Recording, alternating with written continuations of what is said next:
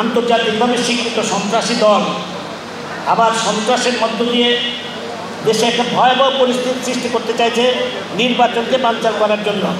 আজকের এই যে বর্তমান প্রেক্ষাপটে আজকে বিএনপি যেভাবে জঙ্গি তৎপরতা চালাচ্ছে, আজকে যেভাবে তার কর্মীদের কাছে অস্ত্র তুলে দিচ্ছে, কয়েকদিন আগে, দুদিন আগেও দেখলাম তাদের ছাত্রদের নেতা দৌড় সালাউদ্দিনের ছেলের হাতে অস্ত্র ধরা পড়েছে।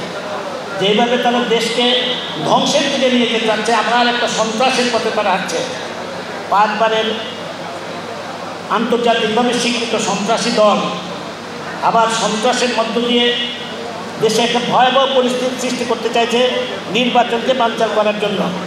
সেই মুহূর্তে আমরা আগামী দুই তারিখের এই আয়োজনের মধ্য দিয়ে আমরা প্রমাণ করে দিতে চাই ঢাকা আমাদের দখলে এবং সমস্ত বাংলাদেশে আমাদের দখলে, সে হাসিনার দখলে। এটা আপনার প্রমাণ করে দেবো ইনশাল্লাহ আমি কথা বাড়াতে চাই না কাদের ভাই বক্তব্য রাখবেন? আপনাকে ধন্যবাদ দিয়ে আমার বক্তব্যটা সুযোগ করে দেওয়ার জন্য ধন্যবাদ জানিয়ে আমার কথা বলা শেষ করছি। খোদা হাফেজ। জয় বাংলা, জয় বঙ্গবন্ধু।